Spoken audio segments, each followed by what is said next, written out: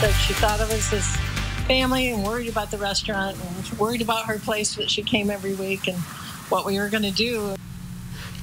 New at 11, a longtime customer of a local restaurant decided to pay it forward, giving back to the workers who are trying to make ends meet during this pandemic.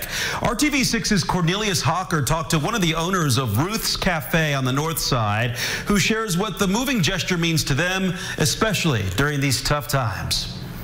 In the envelope, she had, uh, sorry, uh, $1,200 in cash. She took her host stimulus and in cash, gave it to us to use uh, however we felt we needed to use it. Sandy Schimmel was not expecting this lump sum of money from one of their regular customers. I ended up uh, sobbing my eyes out with her. I couldn't believe she would do something like that. It was so kind. All the servers got to split the $1,200, fulfilling the goal of the customer who wishes to remain anonymous. I let her know that today, and she was really pleased that it was helping them because she was very worried about them. Sandy says this highlights one of the big reasons people get into the restaurant industry, not just for the food, but also all the connections you make. It's all those people you meet and all those families and all those babies that are born. Most days, Ruth's Cafe would look like this, but the pandemic has forced them to close off the dining area and only do to go orders. And while this $1,200 was a nice surprise, it was also a stark reminder of what they're missing. That was the hardest part, standing there and not being able to hug her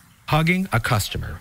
Something Sandy tells me she won't take for granted when she can do it again. Working for you, Cornelius Hawker, RTV6.